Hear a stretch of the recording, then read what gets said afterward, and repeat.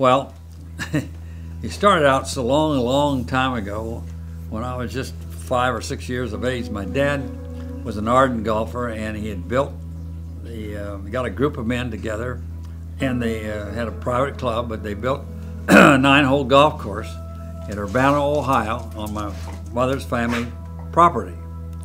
And uh, when I was born, 25, the time I was six or seven years of age, I'm out there watering the greens. The next thing I get a little older, I'm cutting the grass on the uh, on the on the greens, and I was working on the golf course. Every summer I worked on the golf course, so I always I came very interested in golf course and the general maintenance of a golf course.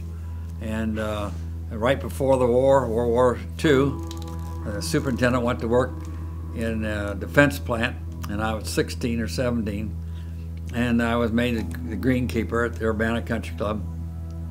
And I was there until 1944 when I went into the parachute infantry. But uh, and then when I got out of out of the service, I've always been interested in, in, in the agronomics or maintenance of golf course. And when I got married in 1950, I moved to Indianapolis, where Alice is from, and I started taking care of the, the Country Club of Indianapolis. I was the Greens chairman. And then I went to Purdue and took a lot of their short courses in, in agronomy. So I, never passed any of them, but I, but I took them all. And I've always been interested in golf course maintenance. And that's been uh, uh, the real love of my whole life has been the maintenance of, of golf courses.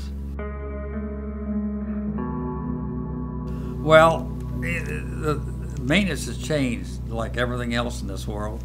You're a young man, and everything changes. You see it change, but it's escalated so, and uh, we keep, we keep the golf courses so manic, manicured nowadays as the cost has gone up, and uh, I don't really like that too much, but I don't run the world, and we've escalated it. A lot of it has come from where the uh, the builders are building homes, and they built homes. So now the lady lives here, and, and on the other side of the fairway, another lady, and they they want everything manicured from one side the other.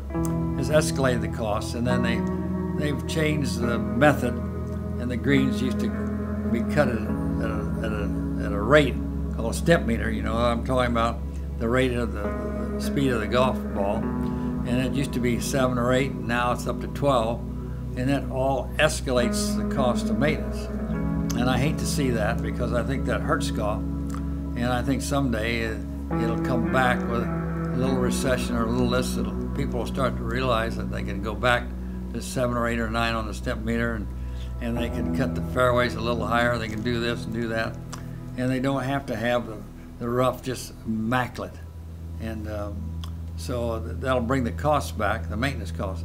And I think the, the, uh, the, escalated cost of maintenance has hurt the game of golf, but, but it seemed to be surviving. But someday I think that feeling that, that, and especially now that you have much more of a world golf going on.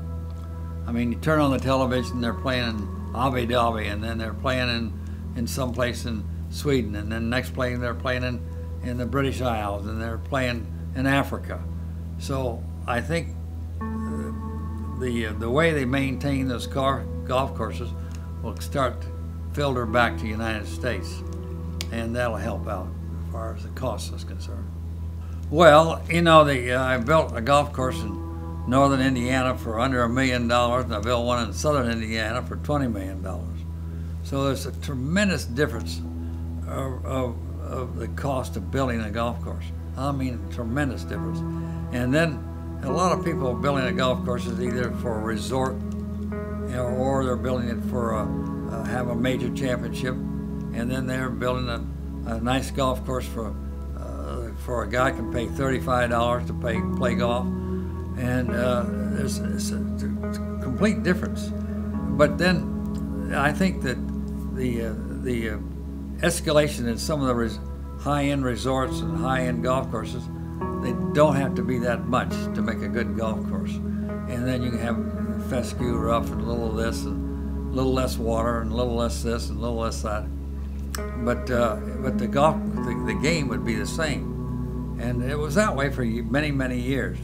And I think it'll filter back to that. At least I hope so. In a lot of places where then then it'll bring it, the play from two hundred dollars down to a hundred, and, and then from fifty down to thirty-five, so the whole world can play golf. What had happened, I think, everything happens and changed in the United States, is when they built so many houses, and they built houses around or with a golf course, and that that escalated it, and I think that'll slowly come back. At least I hope so.